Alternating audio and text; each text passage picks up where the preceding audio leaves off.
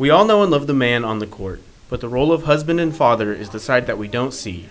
in a lot of ways, it's impacted my home life. Uh, I'd say the first is the amount of sacrifice that goes into it. Um, we talk about our team having sacrifices for each other as players. You know, maybe you have to sacrifice some playing time, or you got to sacrifice a starring role as a team. But at home, you've got a team too, and so the sacrifices of um, being away from home, of the amount of time that goes into it, even when you are at home. So sometimes Melinda will joke that um, you're home, but you're not really here. Um, those kind of things. So there's a lot of sacrifices that go into it. Um, the biggest one being, of course, the the time commitment that goes into it. I mean, they've supported me in unconditional ways. Um, the late nights, the um, the travels um, out of town for games or tournaments, and it's really a 12 month thing because yeah, we've got our season from November to March, but then we've got our camps in the summer, we've got our player development programs, we've got all the other things that go on with it. Um, so the support's been unconditional because there's there's nights where um, you know I, I would of course love to be home, but the obligations are elsewhere. So the sacrifices that Melinda has to make for uh, to be here um, are really really appreciated, and I think most coaches uh, would tell you that about their spouses. But one thing that's so neat about uh, Melinda and Ellie is their unconditional support for allowing me to do what I enjoy is really neat. But then on top of that, they come and attend a lot of games and they travel to a lot of games, and so then that family atmosphere that we try to foster is always there because they're they're there, they're part of it.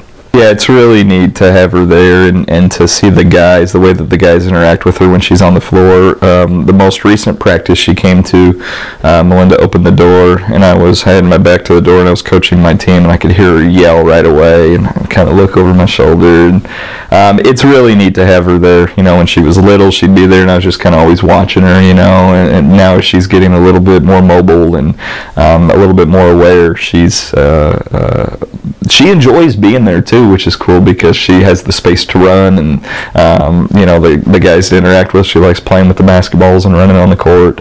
Um, but it makes me feel great because um, you know part of the commitment away from here is that time thing that you're away from them. So when they're able to come to you and you're able to spend time together is really neat she's in like the 97th percentile in height so maybe you know she'll be she'll be a really good post player is what Melinda and I laugh about but um, you know I want her to be able to do and play and enjoy whatever she wants. Um, we'll be uh, loyal supporters of her uh, lovers of whatever she wants to do and her passions. Uh, one of the great blessings of my life is that I've been supported and I've got a passion to do what uh, to coach basketball, and I'm allowed to do that.